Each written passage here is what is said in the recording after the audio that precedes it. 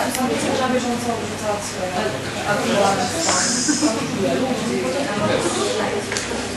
Poza szkołami, bo jeszcze szkoły, poza szkołami.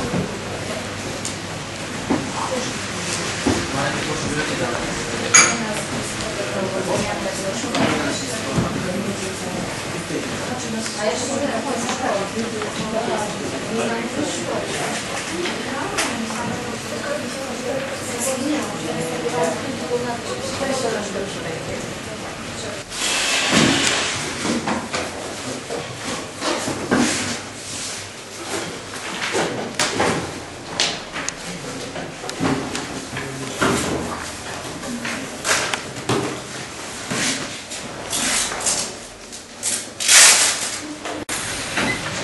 Zdecydowałem się wystąpić e, w dwóch sprawach, e, chociaż e, wypadałoby napisać listy w sprawie wszystkich niesłusznie, bezprawnie uwięzionych, ba często skazanych na wieloletnie wyroki bądź mm, na śmierć.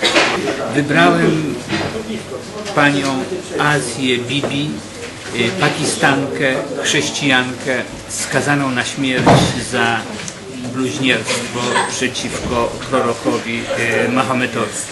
Jest to okrutna y, kara, y, kara, która we współczesnym świecie po pierwsze nie powinna być stosowana, zwłaszcza wobec kogoś, kto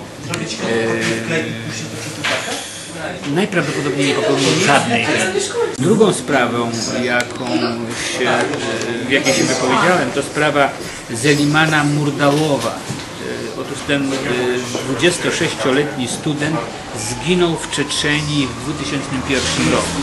Zaginął zupełnie. W 2005 roku sąd skazał e, jednego z jego oprawców e, prawomocnym wyrokiem, a więc uznał jakby to, że Zeliman Murdałow został okrutnie zmaltretowany pobity. Co się z nim stało? Do tej pory nie wiemy.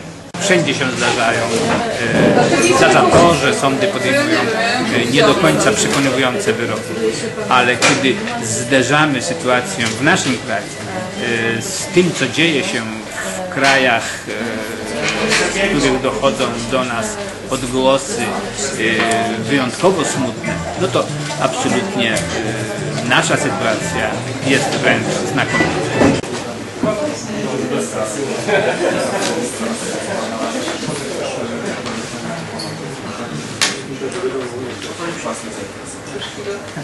Przepraszam, to jest wszystko cały raz.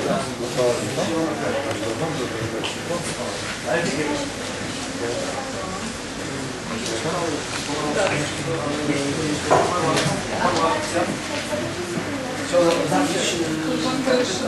Ayak